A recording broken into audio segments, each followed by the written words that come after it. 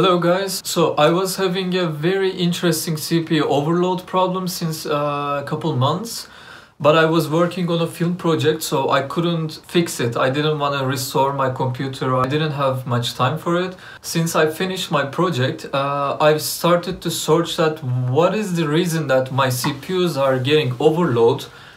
But I'm working with this computer since over three years and I know what are the limits of my computer. So uh, in that project load, it shouldn't be overloading. So uh, I start searching that what is the reason that why my computer is just keep overloading. But first, I'm assuming that you have already optimized your project settings by checking the sample rate uh, or anything, freezing your tracks, etc. Uh, I'm gonna put uh, in the description a link. But this video for those who have already tried everything, including restoring your um, operating system or downgrading. So what I have found uh, during two weeks of research is that your CPU problem can occur just because of the heat uh, of your computer. So Apple wants their computers to work in silent as much as possible. Also the interior design uh, to make these devices smaller, the interior design isn't extremely efficient to cool down your CPUs. When we are working, the CPUs are getting extremely hot. Your cooling system uh, isn't sufficient enough to cool your CPUs. So what the thermal throttling does is that it just cuts the voltage which goes to your CPUs, reduces your uh, processing power to prevent them to reach in critical heats.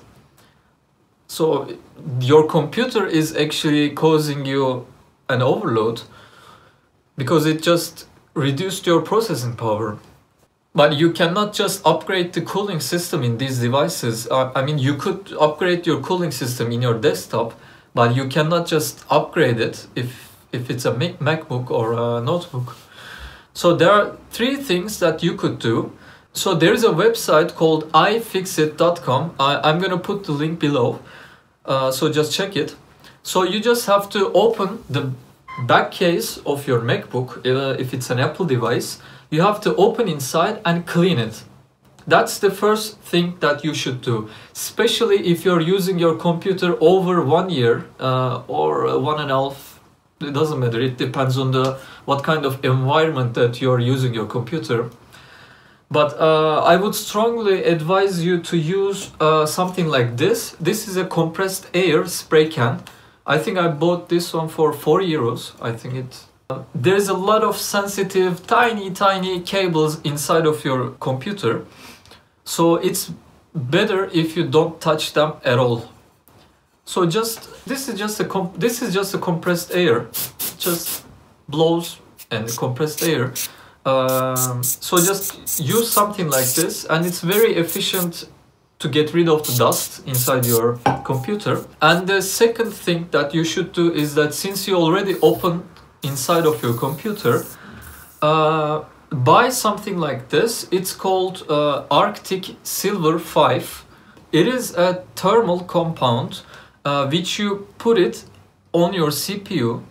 It makes a nice contact with your heatsink.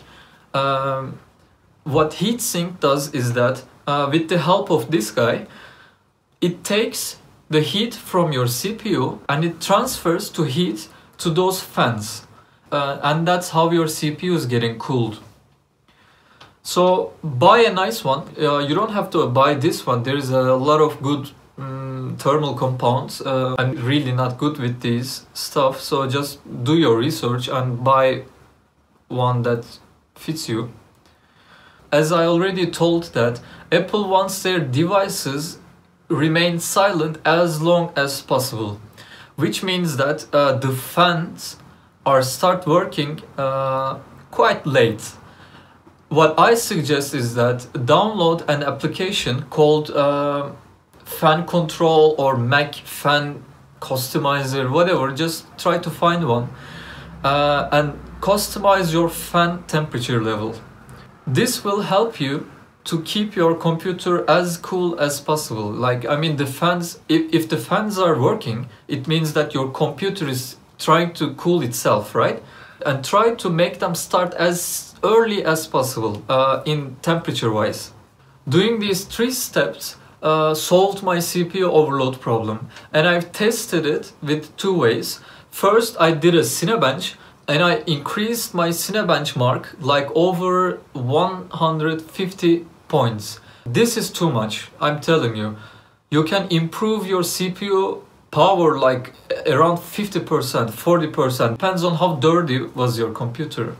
And the second thing what I have done is that there was a Logic Pro project and I was keep getting a system overload and now when I play back that uh, project it just don't overload I hope this video will help you to solve your problem. I mean, it solved mine. Maybe also it will solve your problem. So if you have any questions, don't hesitate to ask it. Uh, I hope you liked the video. Have a good day.